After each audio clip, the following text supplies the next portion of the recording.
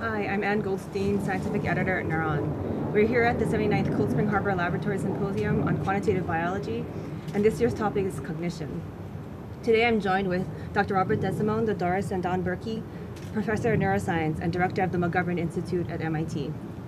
Dr. Desimone is known for his landmark studies in visual processing and attention. As one of the few labs that use both humans and non-human um, primates, would you mind sharing with us how you using both systems has helped inform your work and um, in ways that were expect not expected or particularly inspiring?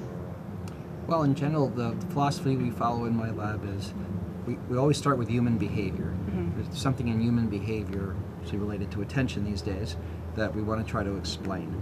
And um, often the, the, the, human behavioral work has been done. We've done a little bit ourselves, but there's a huge field of human behavioral work in, in attention. Uh, and then uh, we start with the human neuroscience studies. You know, how have they informed us? Uh, and then uh, sometimes there's open questions in the human neuroscience, in which case we jump in ourselves.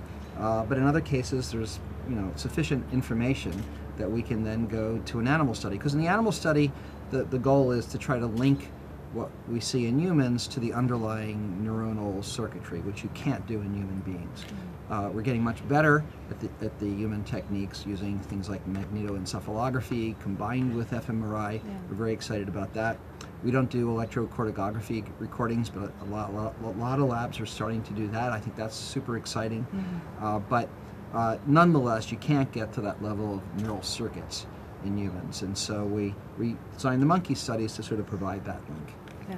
It's actually going back to that use of MEG. I noticed you're going to be talking about that today, a combination of the two approaches, fMRI and MEG, and just a nice paper that you recently published about um, attention, um, spatial attention versus object attention having similarities there. So you mentioned that you're using both now. You, how, so how did that change um, the way that you approach your work now? I mean, did that was that a big shift, and when did you guys start using this technology? Well, um, actually, when I was at the NIH, now uh, over nine years ago, uh, I pushed for NIH to get its own MEG machine. And I started playing around with the machine then, to, and we did some pilot studies and so on.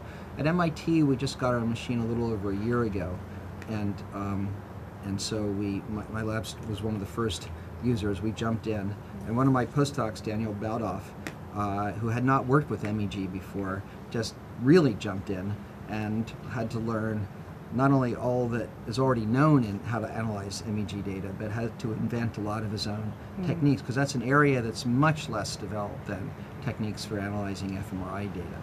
So uh, he did a, a, huge amount of developmental work, and then and then we started the um, the studies on attention. The the thing that the um, the MEG, of course, is giving us is the exact timing of activity. And of course, that's, that's the reason for doing animal work, is you need that exact timing. Of course, you get at the level of neurons, and MEG, you get at the level of maybe areas, but uh, nonetheless, you know, we're quite interested in that in that time. Right, right. So it's nice to have the combination of the two. So the fMRI gives you the spatial localization and uh, but uh, but fMRI is usually limited to a second or 2 mm-hmm. and just think about all the operations your brain can carry out in a second. It's like yeah. an eternity.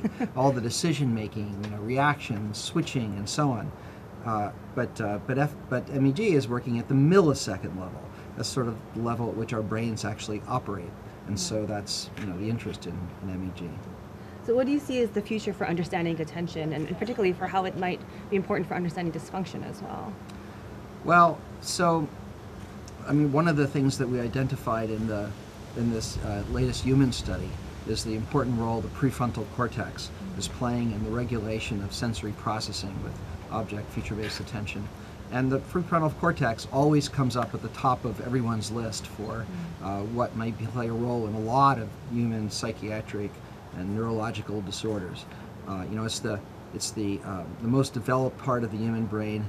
It's uh, it's large uh, compared to the prefrontal cortex in the monkeys, mm-hmm. but compared to the mouse, which many people are using, I mean, it's like orders, many orders of magnitude. The mouse has a like a teeny, teeny, tiny prefrontal cortex. So it's it's really what's make what it's what makes us humans mm-hmm. is that massive prefrontal cortex, and um, and it's clearly a, you know very much involved in attention, and attention is very much involved in all these psychiatric disorders. People who are depressed, what do they complain about? Can't focus my attention. I can't concentrate. Mm-hmm. Um, people um, with um, lots of learning disorders, attention deficit disorder, you know, is an obvious one. Mm-hmm. Uh, it's, it's this aspect of focusing, keeping on track, blocking out distraction is what, um, I mean, we all have a problem with that, but people with psychiatric disorders often have an even worse problem. So it, it's focused our attention on this part of the brain, and we'd like to be doing studies on that. Um, and in conclusion, I also noticed on your website you have a, a focus or interest on um, overtly too much information in general. So there's how do we how do we uh, deal with too much information in this very fast age that we live in now, with lots of technology, lots of video games, and, and so on, with phones. Yeah, well, I'll tell you, it, the um, what I'm gonna what I'm gonna give you as my advice is gonna sound totally trivial, but try not to use your brain for having to block out all that distraction. Try to eliminate it from the environment. Mm-hmm. Uh, it, you will be infinitely better off if you can eliminate distraction from around you. Eliminate those, you know, the TV in the background and the mm-hmm. radio in the background and all those other sorts of things because for you for your brain to filter that out takes a lot of your brain's energy mm. and a lot of your cognitive focus is got to be devoted to blocking this stuff out. And you'd rather have that that cognitive capacity devoted to whatever you're trying to do the mm-hmm. problem in hand. So i know again it sounds sort of trivial but don't rely on your brain to block that out. Take it out of the environment. Great. Thanks a lot. It was great talking to you. sure. Okay